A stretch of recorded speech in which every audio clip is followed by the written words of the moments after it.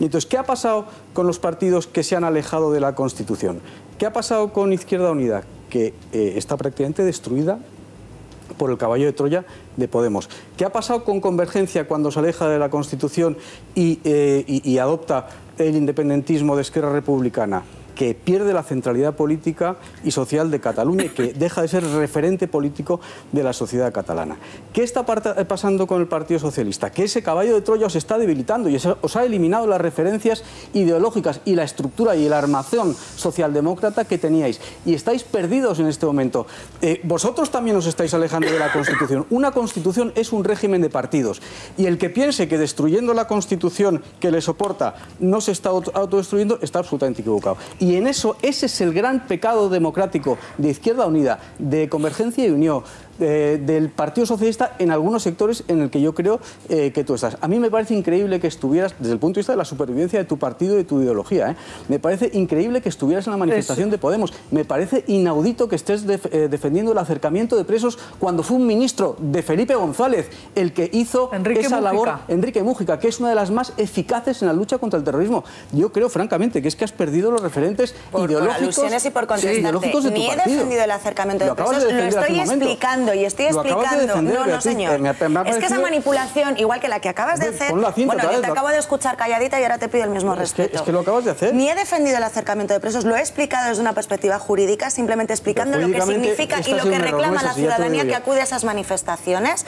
Eso es lo que yo he explicado como jurista para que quede claro. no es así, para que quede claro que hay una norma no general y una excepción de la norma. Si me preguntas lo que yo pienso, te lo puedo explicar, pero eso es otro tema. Es mentira. De acuerdo. Y ahora bien, cuando tú estás hablando de que el Partido Socialista se ha alejado de la Constitución, perdona, al Partido Socialista le están zumbando por todas partes desde que firmó el 135 con el Partido Popular. Al Partido Socialista se le está criticando por tanto acercamiento con la derecha de este país, con una derecha tramposa que a través de las medidas Bueno, de es- austeridad es ha mitin, llevado a este es país mitin, a es esa mejor. España de la Bueno, que tú hablas. España ahora mismo desde la, de desde de desde la historia partidos, ¿eh? democrática Cuidado, de ¿eh? España, desde que estamos en un gobierno de derechas, estamos en la peor situación de hambruna, de pobreza, de desigualdad, No de precariedad eso. Laboral. eso es Eso lo que tenemos. vamos a lo que y al. PSOE se le castiga Vamos por no que haber vamos. hecho una oposición firme y responsable a la derecha. Y que yo vaya a una manifestación que pide un cambio, por supuesto. Ah, es Yo no estoy apoyando A ver, aquí a, no está- una figura política, no, Podemos- estoy apoyando... Perdóname, Beatriz, Podemos llama papelucho a la Constitución, dice que hay que saltarla por los aires y lo que tiene que hacer... No, Sí, que sí, haya hecho ese que comentario quieren- un dirigente político no, un significa que dirigente la no, organización política que es efectivamente de Podemos. pero que Pedro Pero bueno, Sánchez que es muy mañana grave. diciendo Yo lo que creo él que quiera la no significa que sea el programa ideológico del vamos a ver, partido la No has, de no entendido nada de lo que yo he dicho o, o no has entendido nada de lo que No, yo lo he he dicho. entendido o has perfectamente y por eso te lo estoy que- aclarando, para que no manipules. No, no, ni, no he el PSOE, nada. ni el PSOE está siendo fagocitado por grupos como Podemos,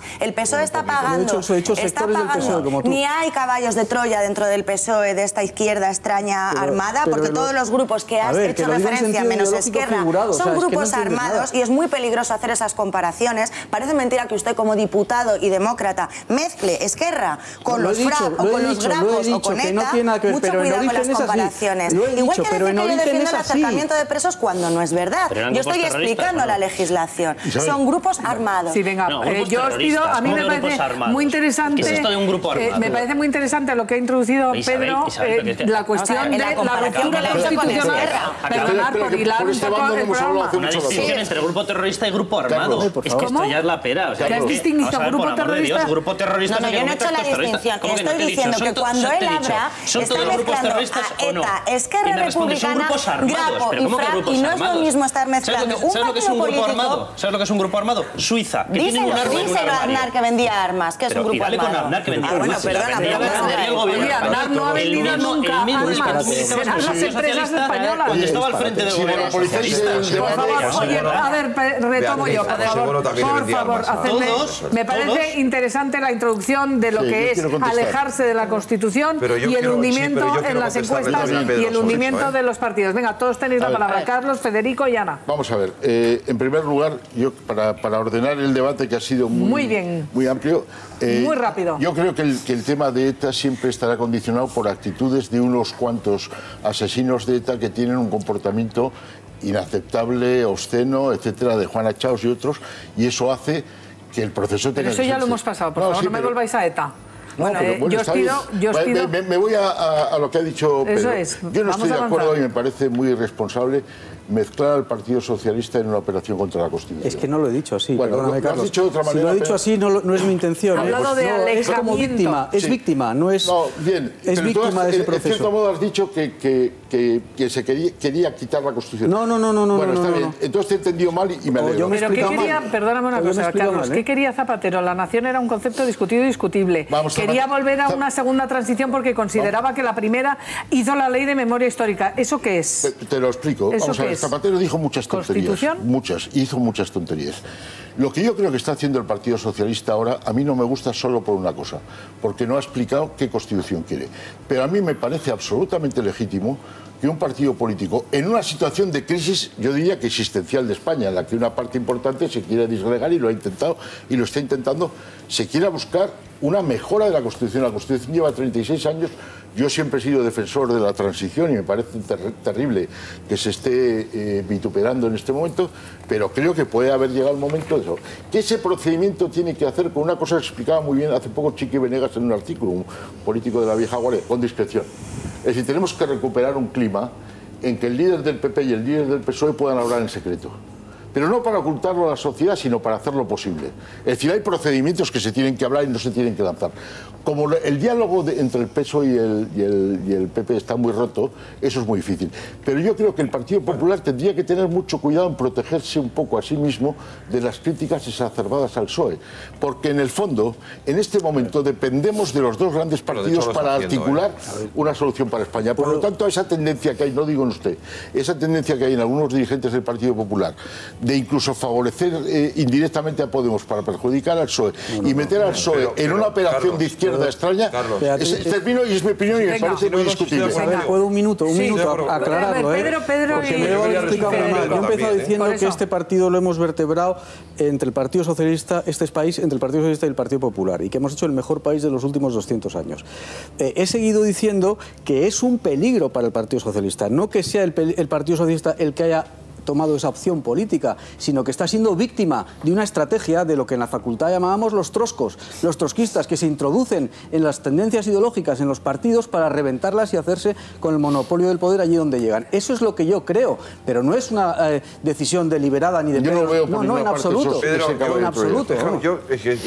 Estoy bastante de acuerdo con el análisis, con parte del análisis que has hecho, sin embargo creo que te ha faltado una pata, ¿vale? Porque si te fijas, por ejemplo, en la encuesta de ayer, que luego hablaremos de la razón, y otras más, también el PP pierde eh, votos en favor de Podemos. ¿Por qué? Es decir, ¿Cuál es la razón o la respuesta a eso? Es, decir, eh, ¿es porque el también el PP se está alejando del modelo constitucional? No parece, ¿no? Eh, pero a lo mejor el problema tanto del Partido Popular como el del PSOE es el inmovilismo. Es decir, es verdad que, que no te puedes, eh, yo creo que es un error el, cuestionar la Constitución y el cuestionar la transición, que en definitiva es lo que, lo que han hecho algunos partidos y por eso el, quien más lo ha hecho, Podemos, es el que se lleva todos esos votos, pero también es un error cerrarte con echarle el candado a la Constitución. Aquí no tocamos absolutamente nada, porque hay mucha gente que sí que opina que la Constitución merece una reforma y que buena parte de los casos de corrupción que se están dando en este país requieren una respuesta. Y la respuesta no puede ser solamente, eh, a lo mejor, una reforma del Código Penal. A lo mejor hay que retocar algo más, en, en- en- en- eh, por ejemplo, en las leyes electorales, Primarias. etcétera, etcétera. Es decir, Sí. las primarias, es decir, que a lo mejor hay que cambios, que a lo mejor hay que hacer cambios que el Partido Popular tampoco se está atreviendo a hacer. A ver, Pedro, y como no entonces, se está atreviendo a hacer, brevedad. por eso hay gente que votaba al Partido Popular que también se está yendo. Pedro. Bueno, mira, Cuidado, porque por ese, por ese lado viene, por ese flanco Ciudadanos. Bueno, yo el, el- el voto, el, posible eventual voto del PP que se fuga a Podemos no lo veo por ningún sitio. La SER decía esta mañana un 8% Y sobre del todo voto a de Ciudadanos. Podemos. Bueno, eso es otra cosa, pero es que Ciudadanos no es un movimiento anticonstitucional. No, pero es un movimiento que a favor de la reforma. Es que es otra cosa. En, en cuanto a la reforma constitucional, la Constitución no es un elemento que no se pueda tocar, es una ley, es la ley suprema, pero primero es una ley que está hecha para durar, como todas las constituciones, y para dar estabilidad a los países y proyección a las sociedades. Y segundo, para ir a, a la reforma constitucional hay que ir con unas mínimas bases, con un mínimo común denominador, con unos acuerdos mínimos y con un punto de llegada. Es decir, cuando, ¿cuál, es, ¿cuál es la clave de la, de la transición española? Pues que había un punto de llegada, que se quería ir de un régimen de dictadura a un régimen constitucional de democracia, de monarquía parlamentaria homologable. Eso en este momento no lo tenemos, no hay un proyecto común sobre el que discutir, qué es lo que fue la transición, sino que ahora cada uno tiene su proyecto. Y esa es la dificultad de la reforma constitucional. O sea, no es que nosotros nos neguemos porque estemos en una posición de, terquedad y de inmovilismo y tal. No, no, no, es que no hay nada encima de la mesa capaz de generar tanto consenso y tanto acuerdo de convivencia como el que generó la Constitución del 78. Y esa es la dificultad. Bueno, fíjate sobre la ley del 78 y en lo que están algunos. Una noticia que publica ahora mismo el ABC y es que la Generalitat de Cataluña planea la expropiación masiva de edificios y bienes de Estado. Es una reforma que se ha enviado, que ha prometido enviar al Parlamento en tres meses, y mi pregunta va a Ana Grau, una reforma de la Ley de Patrimonio de la Generalitat en la que prevé ese inventario, se llama reforma, la llaman inventario por la independencia, para quedarse, supongo que expropiar, el día que ellos consideran que declarar la independencia, expresar, eh, expropiar masivamente eh, los, eh, los activos de las administraciones públicas del Estado de tal en Cataluña. Esto yo en la línea de lo que estaba diciendo Pedro Gómez de la Serna, partidos que se alejan de la Constitución hasta el punto de reventarla, intentar ahora expropiación masiva, una ley para expropiación masiva de los activos del Estado, de los edificios, de los inmuebles del Estado. Ana. Es que, es que yo creo que haciendo un poco una recensión de todo, lo que, ha, lo que ahora mismo hay en la política española es un déficit de líneas rojas, o sea, de que la gente nos aclare hasta dónde está dispuesta a llegar y no. Yo también creo que la reforma de la Constitución es posible dentro de la Constitución. Sí, claro, O sea, creo que dentro de la Constitución todo es posible y que fuera de ella nada tiene demasiado sentido. Entonces, a ver, todas las reformas se pueden asumir, pero a ver, yo es que echo de menos que alguien me diga dónde están los límites. Por ejemplo, yo no he sacado la impresión de que no defendieras el acercamiento de presos y se puede hablar de, de todos los gobiernos españoles han vendido armas a, probablemente a quien no debían, nos lo han dicho, pero de eso, por ejemplo, a decir y tú más y que parezca normal, pues dar apoyo, se parece que el gobierno venezolano ah, ampara etarras y además eh, incide en la política española Parece no, financiando. es obvio. además, o sea, digamos, que eso, eso yo lo llamo, eso en mi pueblo engorda. lo llaman agresión, lo llaman guerra. Entonces, a ver, yo creo que, que aquí todos nos tendríamos que poner las pilas y volviendo al debate constitucional, a ver, es muy importante que cada cual clarifique hasta dónde está dispuesto a llegar, aunque, por ejemplo, esto que preguntabas, es un desafío legal, es una conculcación, sea, es una jugada nuevamente como el estatut.